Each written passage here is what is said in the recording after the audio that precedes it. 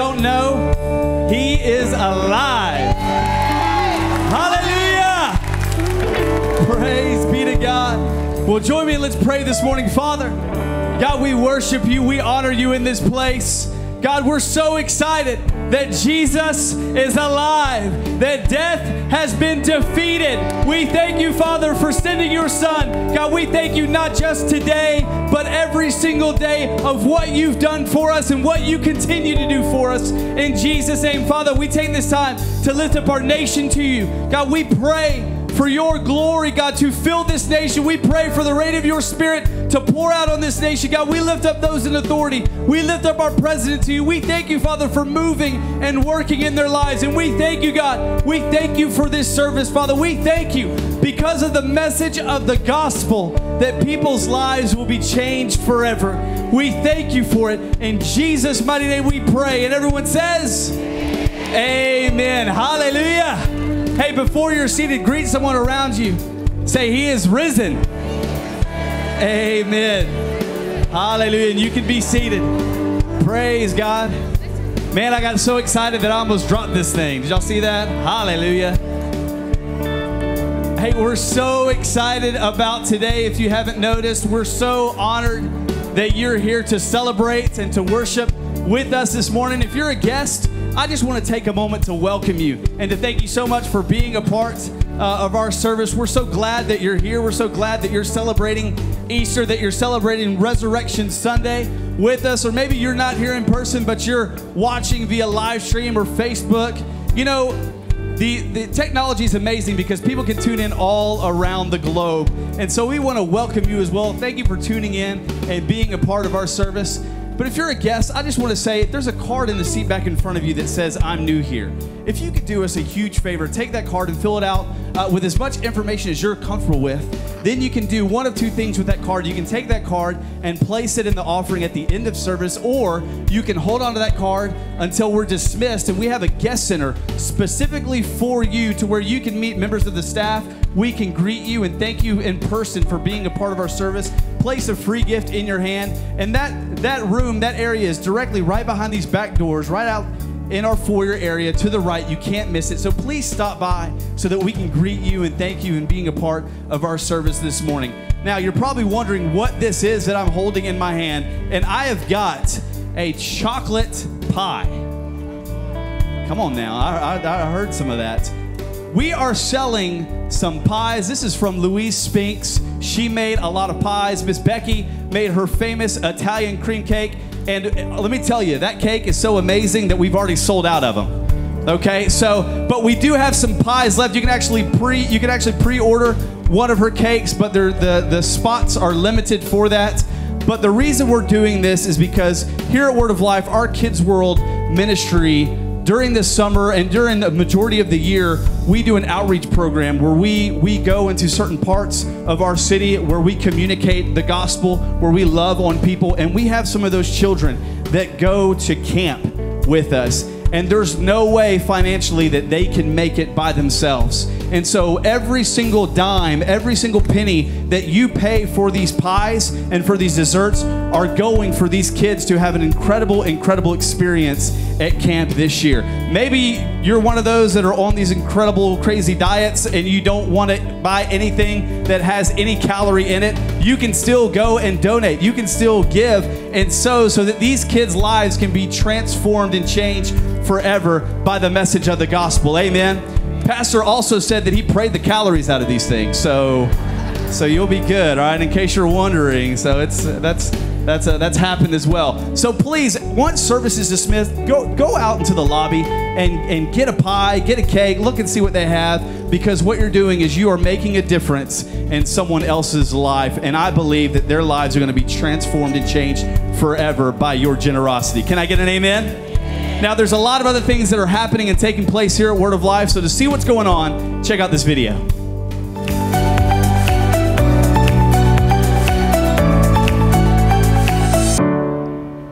Hey, y'all, we want to welcome you. If this is your first service with us, we'd love to meet you after service in our guest center.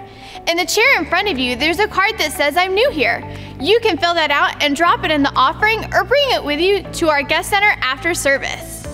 This coming Sunday is our water baptism service. That morning, we'll be doing baptism in our second service. And if you want to be baptized that day, you can get signed up at our information center or online. And our youth have something special planned that day as well. Hey guys, Jeffrey here with Fusion, and I got a problem I want to talk to you guys about. This thing plagues all of us every Sunday. We come to church and have a phenomenal service, and once it's over, we get the dreaded question where are we gonna eat today? Well, on April 28th, we've solved that question for you we're gonna be having fish plates for sale for $15. You can pick these up after either one of our services. They're gonna have fish and fries and hush puppies in them, and every plate you buy helps send a student to camp. So on April 28th, let's solve the problem where we're gonna eat and send some students to camp. Guys, we've got an event that you cannot miss. Hey, gentlemen, I got some exciting news about our men's conference that's coming up Saturday, May the 4th. Pastor, could you share a little bit about what's going to happen at the conference? John, we're going to have uh, churches uh, from Shreveport. We're Yeah. going to have Word of Life here. We're going to have our campus uh, dwelling place in Lake Charles. Plus, we're going to have other churches. We're Yeah. going to be meeting in Alexandria, Louisiana. Right in the middle. Yeah, at One Life Church. We're going to have an awesome time. Yeah. Uh, we're going to be sharing the Word of God about move and how Yeah. you can move forward. And I'm going to share particularly about how you can move into a difference making place as a man of God.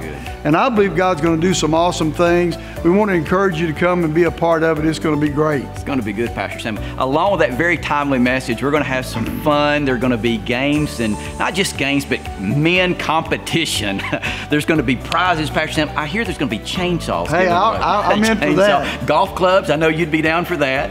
Uh, also, riding reels, things like that. Some friendly, healthy competition. We're going to have food because we can't Yeah. we can't go there without eating. Yeah. And uh, so it's going to be a great, a great time. Also, Pastor, I would just want to challenge the men with this, this, this one thought, and that is this: Would you invest one day in something that could affect you forever? I, I believe if you do, it Yeah. can change your whole life. We're going to also have a special guest there, Chris Hart from Compassion uh, International. It's going to be a tremendous time. You're going to be blessed. Here's what you got to do you got to man up. I You got to it. make up your mind. I love it. I'm going to do something different Man on up. that one day and see God do something different in my life. That's so good. Gentlemen, for more information, just go out to the lobby, to the information center, and we can get you registered, get you signed up, or we can just give you more information. Either way, we can help you if you just go to the information center located in the lobby. Amen. Wednesday, May 1st, is our first Wednesday service, which is a special time every month for worship and ministry. And that night, we have our family table starting at 5:30 p.m. You can come and get a great dinner, and it supports our outreach team. The cost is $8 for adults and only $5 for kids. Next Sunday, we have our water baptism and our fish fry for our students. Our worship night and family table on May 1st, and our men's conference on the 4th. When it's time to grow or make a change in your life, sometimes knowing where to start is the hardest part. That's where our Discover class comes in. It's our membership and connect class designed specifically to help you identify your spiritual gifts, get connected with others like you, and begin to grow in your Christian life. It happens the first two Sundays of every month in room 205 during our second service. All you have to do is show up and be ready to discover your purpose.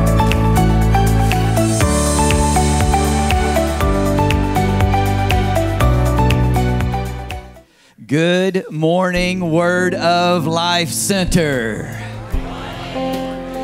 I'm as excited that Jesus Christ is alive. Is there anybody in the house that's thankful? It's thankful that we've got the greatest message to give. We've got the greatest message, and that is that Jesus is alive. He's is risen. He's given us permission. He's given us opportunity to be a part sharing His life. And so, I want to share just a quick thought in regards to giving and receiving from God, and and then also generosity, because whenever we're generous, whenever we're generous, whenever we're generous, the truth is that, that, that people's lives are touched and changed. The Bible says in 2 Corinthians chapter 9, verse 7, it says this. It says that God loves a cheerful giver. How many cheerful givers do we have in the place? Some of you are like, I'm not quite sure if I'm cheerful or not. Well, let, let me just help you with, with, with something. A person is cheerful when he realizes what his generosity is doing. A, a, a person is cheerful. They're excited to give. They anticipate. They can't look forward. Excuse me. They look forward to the opportunity to give because they realize a cheerful person realizes that their giving makes a difference in people's lives.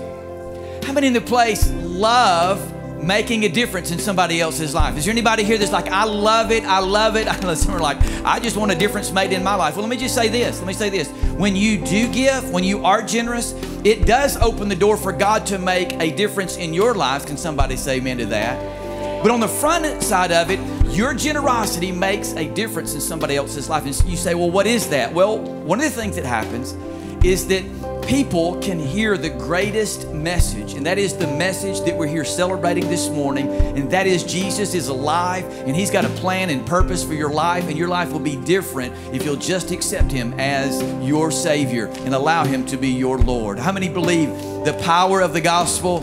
is true. The power of the gospel is relevant for today, and the power of the gospel can change people's lives if they can just hear it. Come on now. They can just hear. Well, they can. They can and they do because of you and your generosity to give and the tithes and the offerings. Listen, I have a couple different ways to give. One is on site. You're going to have the opportunity to do that at the end of the service. We'll be passing those containers then. And you can grab the envelope that's located in the seat in front of you. Uh, the back on the back seat in front of you, just grab that. You can fill that out. And we, again, we'll be circulating the containers in just a few moments or at the end of the service, and you can give then. Or you can go to wordoflifecenter.org and you can give there. Wordoflifecenter.org. You can give online. It's there for your convenience. You can give literally 24 7, anytime it's available for you. Again, are you thankful for the message of the gospel? Are you thankful that we get to share it and we get to be a part of it? Hey, if you would like, you can uh, raise, if you brought, came prepared to give and you have your uh, tithes and offerings, or you've given online. Maybe you've given online if you're watching live stream. You can just raise your hand if you've given online, or you can hold up your envelope. If you're ready to do that, let's do that. We're just going to pray God's blessing over this point of worship. Father, we just bless you. We thank you, Father, for the privilege of giving. We don't give because we have to. We give because we love to. We give because we realize we know that our giving makes a difference in people's lives. So, Father, thank you for the opportunity of make a, making a difference in this world. So, Father, receive our tithes, receive our offerings as we mean them. Faith in you, love for you, love for the world, love for the kingdom. In Jesus' precious name. Everybody that agrees says a great big amen. Hey, we're getting ready to, to worship the Lord. Uh, but I'd like the our prayer team to go ahead and stand and take your place. Go ahead, prayer team, go ahead and stand and take your place. Hey, over the course of the next few moments, we're going to be worshiping God. God's presence is here. And if you sense in your heart that you would like to be prayed for, you want somebody to join their faith with yours to see God move in your life, just step out into the aisle and make your move uh, towards one of these prayer team members, and they're going to join their faith with yours to see God do something amazing in your life. For everybody else, let's go ahead and stand and let's worship God in this place.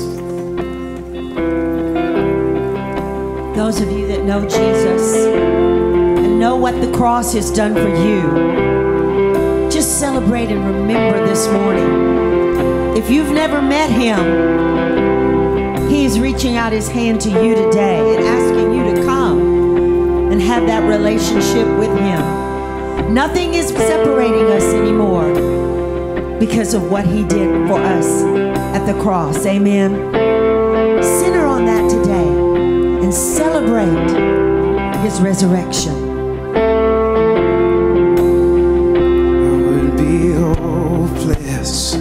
Without your goodness. I would be desperate without your love.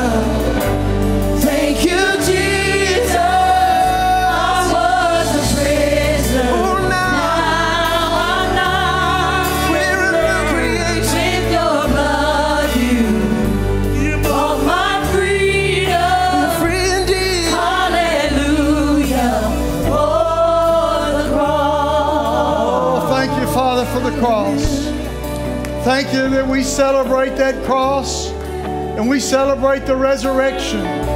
We thank you that today you bring lives alive. You open hearts, you open ears that we might understand the impact, the power of that great, great resurrection that we celebrate today. Thank you for working, Father, today mightily by your Holy Spirit. In Jesus' name, amen, amen, amen. Praise the Lord. You can be seated. Amen. Aren't you glad to be at church today? Amen. I believe that we're living in a time where church is important. As much as the enemy wants to devalue it and push it down, push it away, the more we ought to say, no, no, no, no, that's not right. That's not right. That's not what we're going to do. We're going to live for God and serve God. Amen? Amen. Praise the Lord. I want to talk to you today about life without the cross. And uh, I, told, I told the first service this, and they laughed at me, and I kind of laughed at myself, but, but this is really a narrative of the difference in life that Jesus has made. It, it, it's not necessarily a sermon. And then I said, well, I guess I'll end up preaching for sure. But, but I want to share this with you because sometimes if we don't really understand some things about who we are and what God has done for us, we can get trapped into a false place. And, and so I'm going to read a scripture to you Genesis chapter 1, beginning in verse 1. In the beginning, God created the heavens and the earth. The earth was formless and empty, and darkness covered the deep waters. The Spirit of God was hovering over the surface of the waters. Then God said, Let there be light, and there was light. Hey, you got it. Darkness, light. God, listen to me today, God created the world out of darkness. This thing started in darkness. God created light for man to walk by and to live in. But really, He also created, created life for man to live by. And Adam and Eve, how many of you know who Adam and Eve are? You know, everybody knows Adam and Eve, and they know they ate the apple in the garden. But I can tell you, it probably wasn't an apple. Don't know what it was, but it probably wasn't an apple. But anyway, we know that they transgressed in the garden, even though they were made in the likeness of God, and God had given them light, given them the garden. They transgressed against God because when God said, they said, He didn't really say. Yeah. In other words, they put their own spin on it, their own interpretation on it. So man transgressed in the garden. Now listen to this. And there was still light, but darkness came into the heart of man. Darkness came into the heart of man. Say, well, Pastor, how do you know that? The first offspring, listen to me, the first offspring, the next generation from Adam and Eve, one brother killed the other brother. Cain killed Abel. One generation, and darkness was already pushing in, creeping in to where man lived a life that was totally different from what God wanted. Now you say, Well, I know that. Well, maybe you do, maybe you don't. But I'll tell you, the good news is I know my history. Do you? See, some people, they don't know where they came from and they don't know where they're going. I know where I came from and I know where I'm going. See, it's, it's sad today how many people are just guessing. But see, I've got a body of proof. Yeah. Thank God I do. Amen. So the natural light, listen to me, the natural light continued but now humanity had to navigate life through a cloud of darkness in their heart. If you don't under, listen, from the beginning of time, that's the way man has lived, navigating life, trying to live life with darkness in their hearts.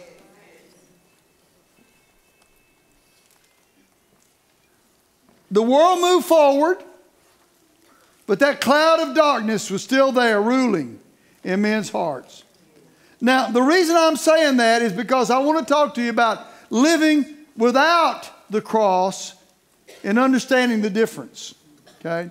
See, we, we think of history and we think we look back on history and we think how cool this time was or that time was you know back in the olden days before jesus and all the you know the different empires and all of that let me tell you something. It was a cruel ruthless place.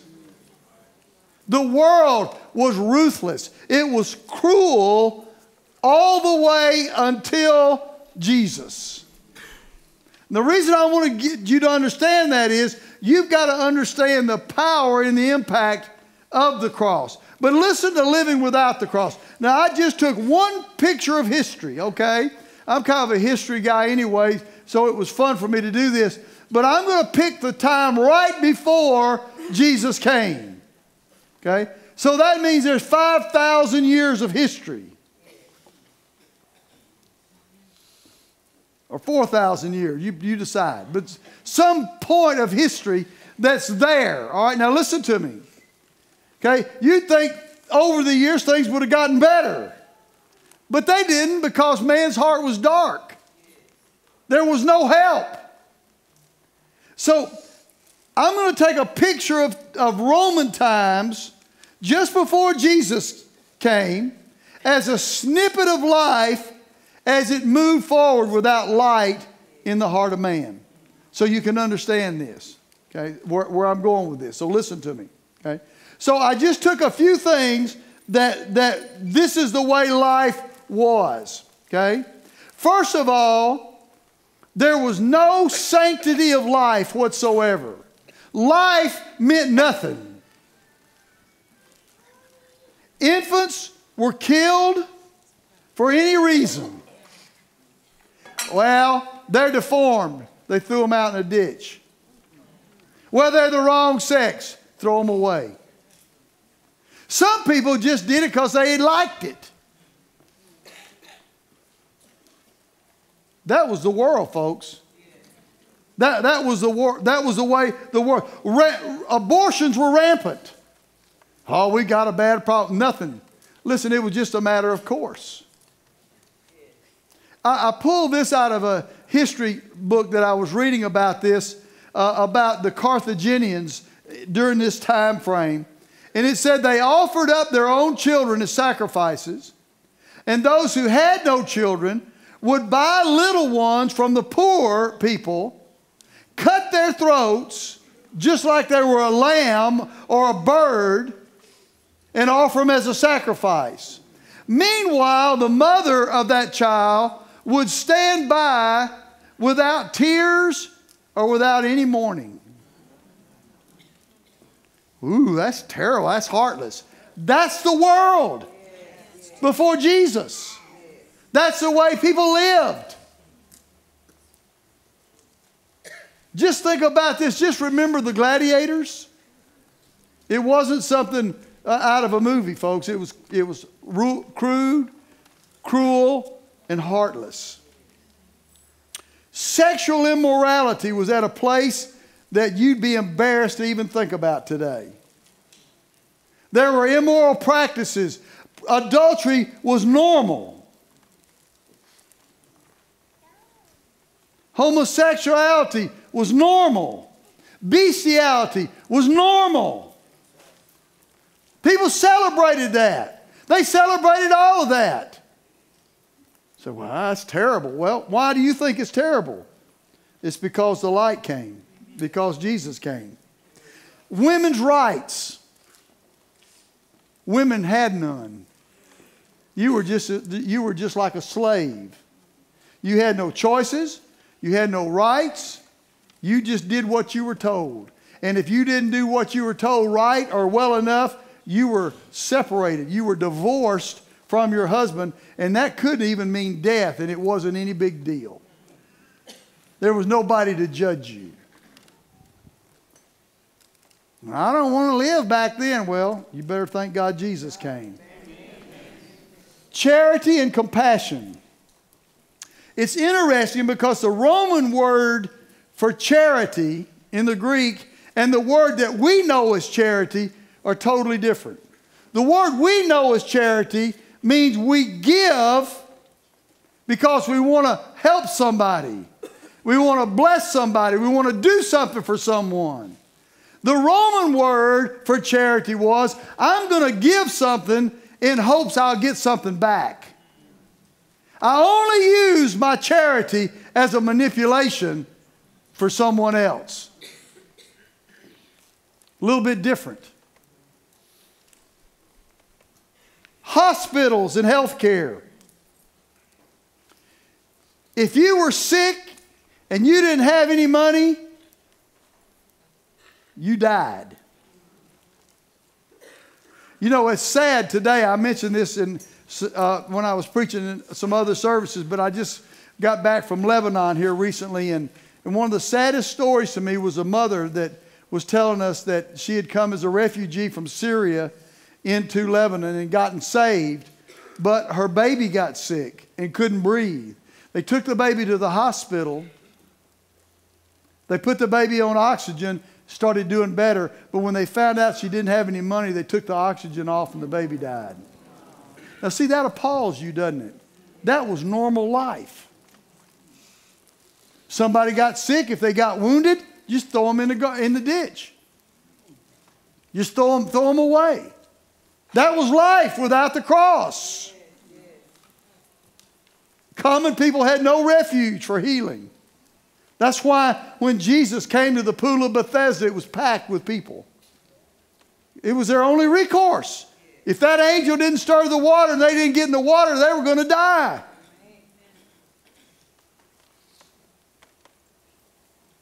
Education was none. Reading, reading, writing, and arithmetic was only for a handful of people. There was no education before Jesus. Labor and economics. Do you know that before Jesus, listen to this, working daily for a livelihood, one, one Greek scholar said, was unbecoming to a gentleman. It was a vulgar means of livelihood of all hired workers who were paid to work. How many of you going to get up and go to work in the morning? Yeah. It didn't happen. Well, who did all the work? Slaves. In fact, during this period of time, it was said that the Greeks actually, listen to this, and, and the Romans, actually, there, was, there were five slaves for every person. That nobody worked except the slaves. We don't have that anymore. We can work for ourselves. We can be honorable in what, in what we do. Science. No advancements in science. You know, they thought the, the world was flat. The world was flat, they thought. Now, you think that's funny. You think that's hypocrisy. Uh, that's just crazy, right? Oh, that's not, uh, who, who ever heard of such a thing? Well, if you'd have lived back then, that's what you would have believed because you wouldn't have any education. Liberty and justice. There were no laws for you. If you were an everyday person, there were no laws for you. If somebody had more than you, they could do what they wanted to do. You had no recourse to take it to a judge or take it to a court or call the police. You might not like the popo today, but I want to tell you, you better thank God for them.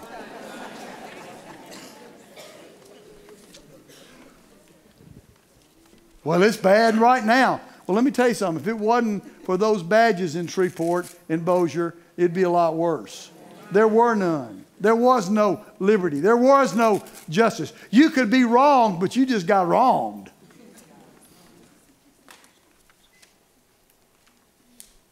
This is a simple picture of life without the cross.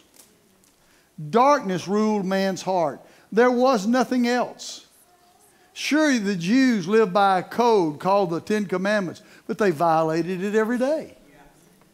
Because when your heart's dark, living by God's rules is a tough thing to do. In fact, it's an impossible thing to do.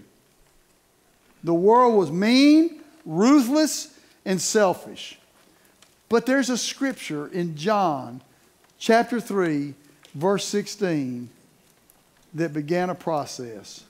But God so loved the world. He loved the world anyway. That, listen to this, that he gave his only begotten Son, that whoever, whoever believes in him should not perish, but have everlasting life. God loved the world. And so something began to happen. Jesus came and walked on the earth, and for three and a half years, we understand, somewhere in that time frame, Jesus demonstrated another way of life. Do you know that Jesus went contrary to all of the conformity of the system of the world? That's why nobody in the world liked him. That's why the darkness didn't like him, because he did things different. He lived a different life. He talked about mercy. He talked about compassion. He lived it. He demonstrated it.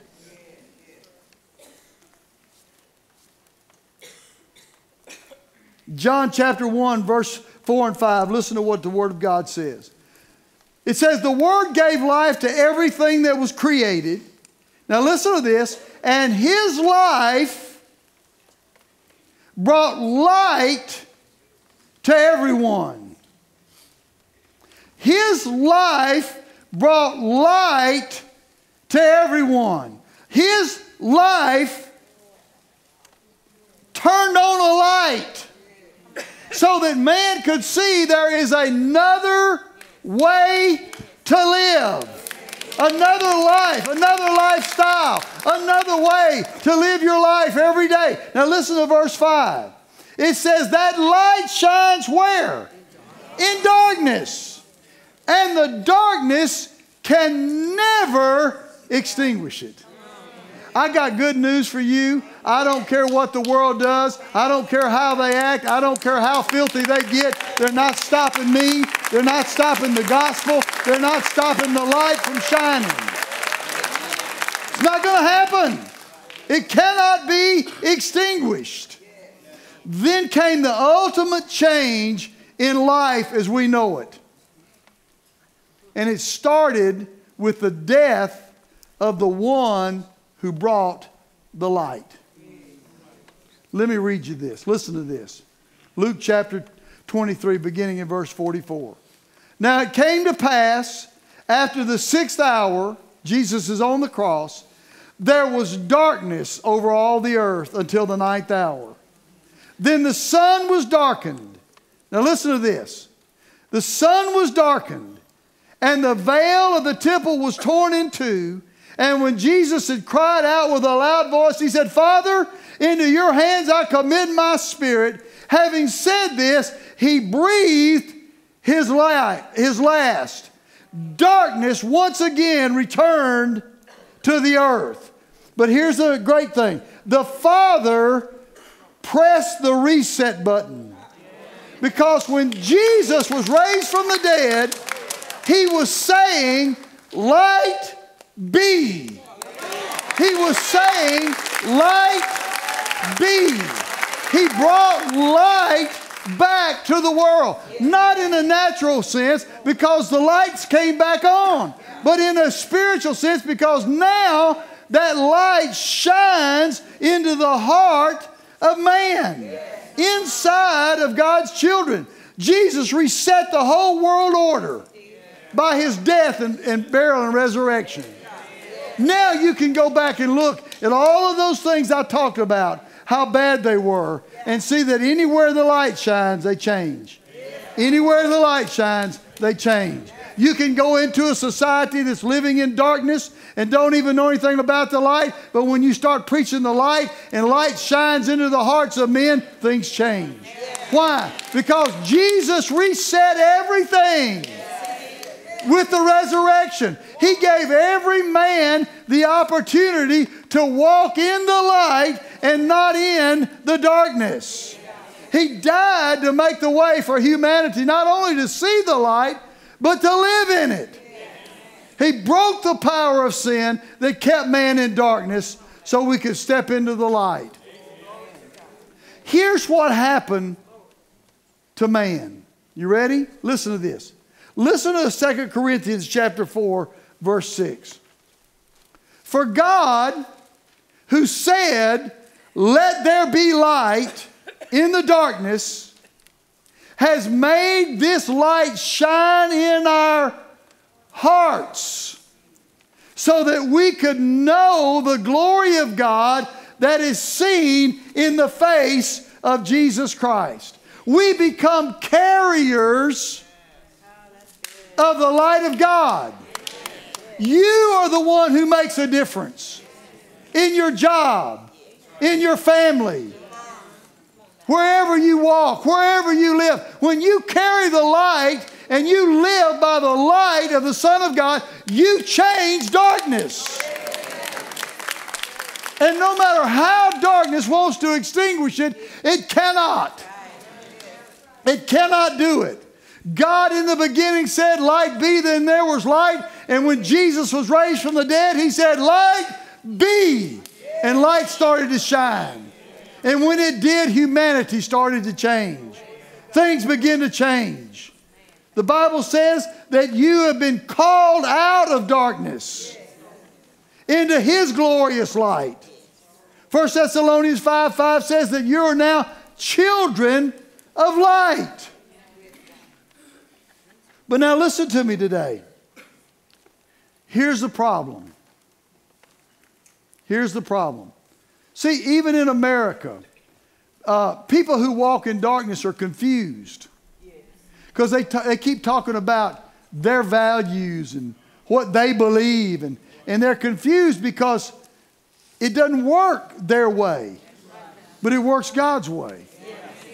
But they don't understand something. Let me tell you what they don't understand. They don't understand that they're living by the light that you shine. They don't realize that if you shut your light off, that that darkness would overwhelm them and they'd go back to the same place that the Romans were. But it's not going to happen as long as you're here and your light is shining. But here's the thing you've got to hear we only have light in our lives as we stay in the light. Okay, listen to me. You have to stay in the light. See, Isaiah gave this prophecy over in Isaiah chapter 60, verse 2. And he said, There's coming a day of great darkness when darkness is going to cover the people.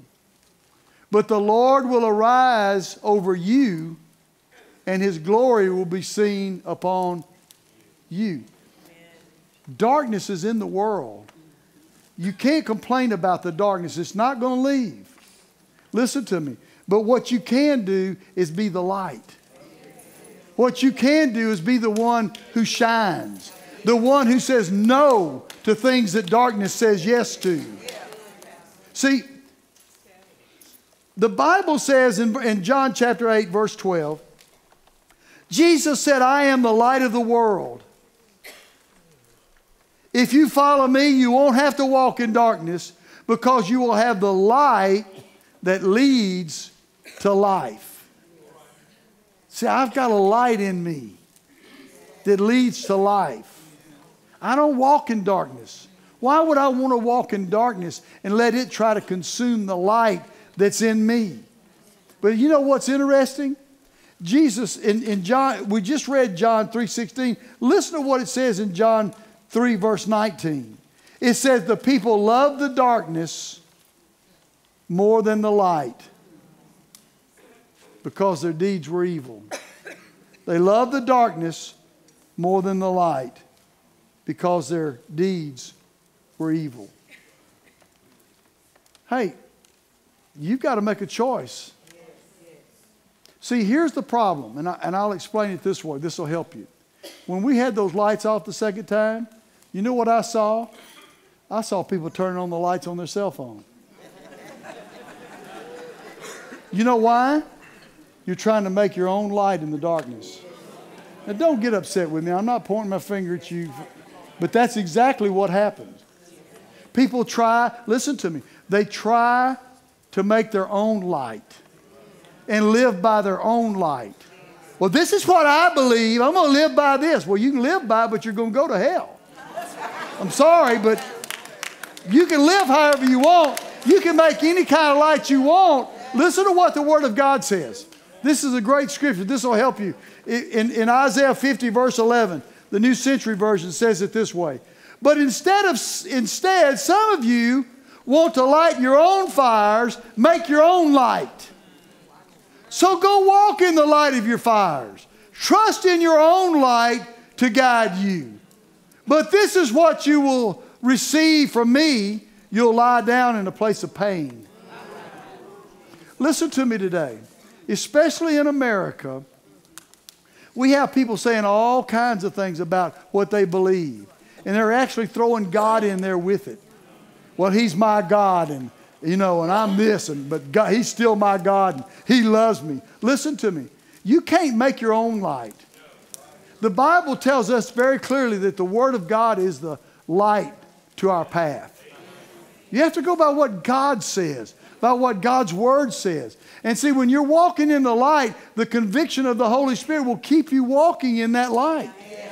But, but once you decide you want to do what you want to do, then you're going to start hunting for fires like yours. You're going to have to, you're going to go find somebody that has a light. Oh, you got a light like mine. We must be right. And you create a coalition kind of like around your own campfire. Oh, we're going to sing kumbaya. We're all here together. Isn't this wonderful? The problem is, it's not God's light. See, it's so easy for you to decide how you want to live your life when God's got a great life for you if you'll just listen. If you'll just let Him guide you, if you'll let Him lead you, He's got His own life for you to live, His purpose for you, His plans for you, and they're not what you're going to find out there in the darkness using your, your own light as an excuse. Thank you for your, I know I'm being pretty straight here. I'm normally not like that, but. But listen to what Isaiah 5, verse 20 says. What sorrow for those who say, evil is good and good is evil. That dark is light and light is dark. That bitter is sweet and sweet is bitter. Do you know that there are a lot of people today that would try to deceive you into thinking, well, you're not a Christian. If you were, you'd love everybody. I want to tell you something. You better understand how to walk in the light and quit trying to make your own light. Quit trying to live by your own light, or here's another scary thing live by somebody else's light.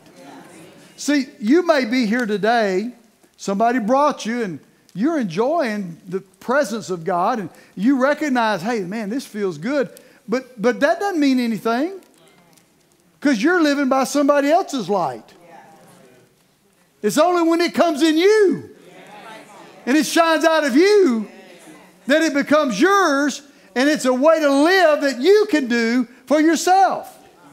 Too many times we have, listen to me, we have husbands living by the light of their wives. We have children living by the light of their parents because they never allowed that light to shine in them. They never allowed their lives to be what they want it to be. They've never allowed themselves to live the life God has for them. What happens? You create a false light of acceptance to avoid the reality of the Word of God in your life. Don't get caught up in the light of someone else's fire. Don't do that because it's going to lead you to destruction, to pain, the Word says. Here's the reality of life after the resurrection. Okay? Listen to this. Yes, Jesus influenced everything. Everything. Things got better because of the light. Christian influence stemmed the tide of evil among the evil, challenged consciences. But you can't live by somebody else's life. I mean, look, I don't mind, I don't mind, mind telling you, man, I'm glad I can go to the hospital if I need to. Now, I don't want to go. If you want to go, I need, you, you need help. Nobody wants to go. But thank God. Thank God, I, I, I know that if I need mercy or I need compassion, there's somebody there to help me. Why? Because of the influence. Because if I had a flat tire on the side of the road, somebody'd stop and help me.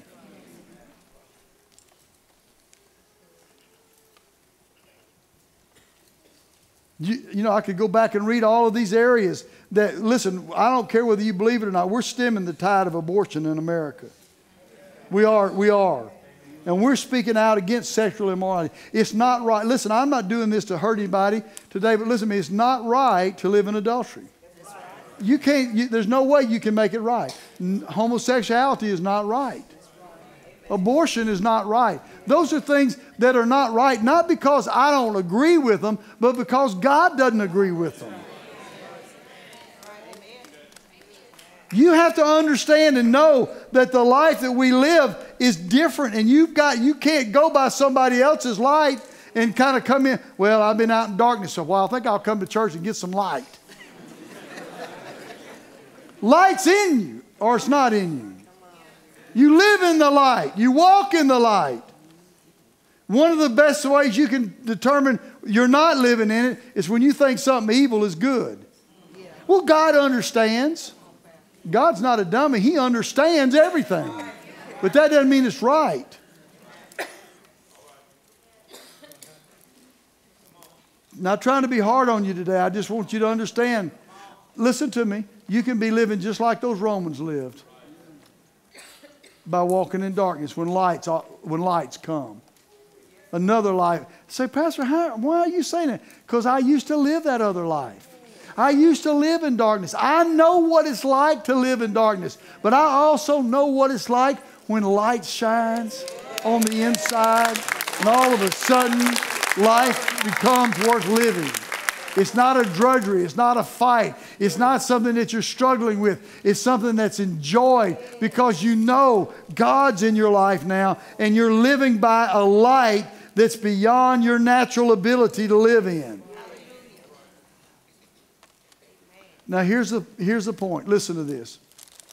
People can reset their lives. It's interesting. I was, I was surfing the other day. How many of you men surf? You know, with the channel changer? So, don't look at me so holy, Irwin. I know better. You hang your head in shame, but I know you. Just a habit, you know. And I stopped on this thing. It was about this, this singer who was married and, and, to this musician, and they had a band, and, and um, she was the star. Her name was Tina Turner, by the way. And, oh, hush back there, whoever said that. Thought you were going to say amen for a minute. But, but my point is, she was being beat up by him, taking advantage of him. One day she just had it up to here. She walked over across the freeway, got some help, and never turned back. She reset her life. Okay? Listen to me. You can reset your life naturally. You can do better. You can move forward. You can change what you're doing and do something different or go after a dream. And none of those things are wrong, but I want you to listen to this very carefully, okay? Uh, you, you've got to hear this. You can reset your life, but there's only one way to reset your eternal destiny. There are not many ways. See, listen, all these little fires that you play around with, they can't reset your destiny. They can make you feel good.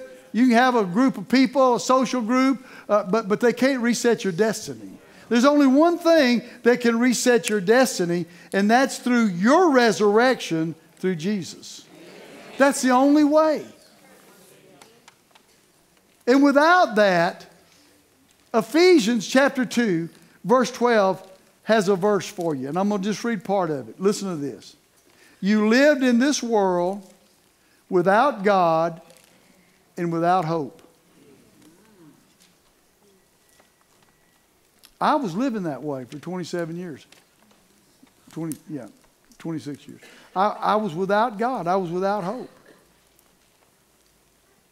But see, when you make Jesus the Lord of your life, light shines into that darkness and it separates you from the darkness. Why would you want to go back to that darkness? Why would you want to live in darkness? Well, I got the light, but I'm going to live in the darkness. It didn't work that way. You only have light as you live in light. You are not a light source, you are a reflection. You got it? You're a reflection. You're not a light source. I don't care how cute you are, how smart you are. You are not a light source. There's only one. And when Jesus died the death of the cross, listen to me, he died for you. And he was raised from the dead to reset your life. That's what the resurrection did, to put it in the light where you can live his life and no longer live in darkness. I want you to bow your heads with me, please. Now, listen, we are not through, but it's important, very important, that you bow your heads with me, close your eyes, and listen to me very carefully. Listen. If you're here today and you've never made Jesus the Lord of your life, you, someone may have brought you today and you just heard the gospel today for the first time. Maybe you've heard it before, but it's penetrated to your heart. God's trying to speak to you today. Today is your day. I'm not going to embarrass you. I'm not going to have you come to the front or anything like that. I'm going to pray with you, though. Maybe you're here today and you walked away from the light. Maybe you're living in darkness and you know you're supposed to be living in light.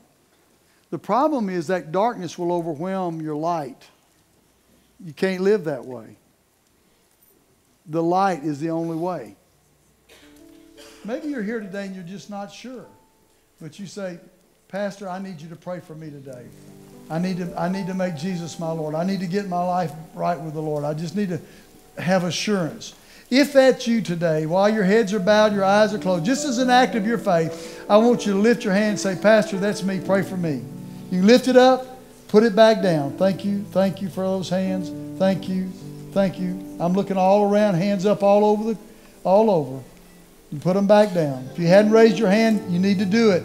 If nothing else, just as an act of faith, say, I need prayer. Lift your hand. Thank you. Thank you. Thank you. More lifting their hands. Thank you. Thank you. Anyone else?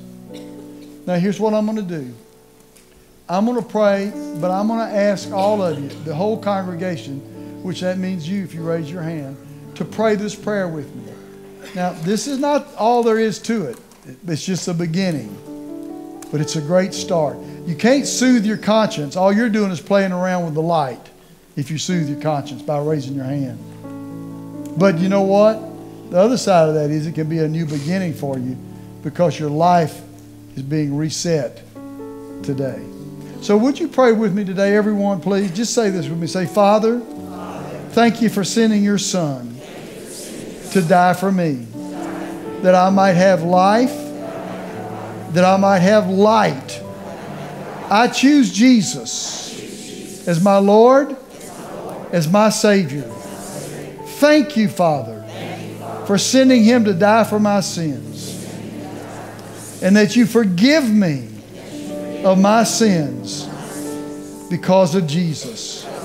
I choose Jesus. I choose to walk in the light, to be free. In Jesus' name. Amen. Now, listen to me today. That's a beginning for you. Paul's going to come and tell you what your next step is. Because, listen, anybody can just pray a prayer, but you've got to walk in the light. And there are steps you can take, and we'll help you with those where God can work in your life in a great way because we love you and we want to see God do great things through you. Amen. Amen. Praise the Lord, Paul. Hallelujah. In just a moment, we're going to receive our offering. But before that, I just want to reiterate a couple things that Pastor said. For those of you that raised your hand, you, you've made the best decision, the most important decision of your life. And I just want to want to challenge you in this. It's easy to, like Pastor Sam, soothe your conscience just by raising your hand and then putting it back down. And the, the, the temptation of going back to that lifestyle is there. But I want to encourage you. There's a there's another step for you to take. There's a next step from raising your hand. Raising your hand is is not the end. It is just the beginning. And we want to help you take whatever that next step looks like for you. Maybe it's it's going public with your faith and getting water baptized, or maybe it's it's to learn more about the gifts that God has placed in you, and that's going through discover. There's many many different steps that you can take, but I want to encourage you that each and every one of you that lifted your hand, there's a step that you need to take, and we want to help you with that step. And so if you raised your hand, there's a card in the seat back in front of you that says next steps or you can text the word new to 88,000. For those that were watching online, and maybe you made that decision by watching it wherever you are, just click that link right underneath the video stream that says next steps. We want to get in contact with you to help you. We're not going to pester you or anything like that. We just want to be there for you because we love you and we believe that every single person has a next step with their walk with Jesus. And so that's what we want to do. And so what you'll do is you'll take that card, fill it out with just your name, your phone number, your email, and just drop that card in the offering and we will contact you because we want to help you and we believe like I said that there is a next step for you. Amen. At this time, I'd like to ask the ushers to go ahead and stand and get ready. And we're going to pray uh, over the offering, and then we're going to receive that and go over a few more announcements uh, before we're dismissed this morning. So, Father, God, we thank you for today. Father, we thank you for the message, God, and I thank you for every generous person in this place, God, that's sowing into your kingdom, God, that's sowing so that they can make a difference in other people's lives. We thank you for it. In Jesus' mighty name we pray. Amen. We're going to give the ushers just a few minutes for them to pass those containers. I just want to remind you about a few things that are happening next week. Next Sunday morning is going to be a very, very special morning because we're going to celebrate with some people who are going public with their faith and getting water baptized. There's still time for you to sign up if you'd like to be one of those. All you have to do is just go out to the information center in the lobby, or you can go to our website and get signed up because we want to celebrate with you by going public. It's it's such an incredible, incredible time. So I want to encourage you to sign up and don't forget you can go out to the lobby. There's still some more pies. There's still some more goodies for you to buy to help get these kids to camp. Go donate. Go pick up a pie. Go bless someone else and be generous and give them something as well. And I believe that these kids' lives will be changed forever. Also, if you didn't notice this morning, uh, we have a couple of photo booths set up for you to take pictures with your family because you all look so, so good this morning. So there's a photo booth out in the foyer as well as one in Kids World as you're picking up your children. So please stop by. Somebody's there to take a picture that, that will use your phone to take a picture uh, for you. So I want to encourage each and every family to do that. Also, if you're a guest this morning, feel free to stop by the guest center so that we can greet you. And thank you so much for being a part of our service. At this point, I'd like everyone to stand. We're going to have prayer partners here at the front as we're dismissed. If you made that decision this morning, come and tell one of these men and women and let them pray with you and agree with any need that you have. Let them pray over you. And we believe believe that, like we said, this is not the end, it is the beginning of your life, your resurrection life with Jesus Christ. Amen. Well, go and have an incredible, incredible day, and we will see you next week. We love you. You are dismissed.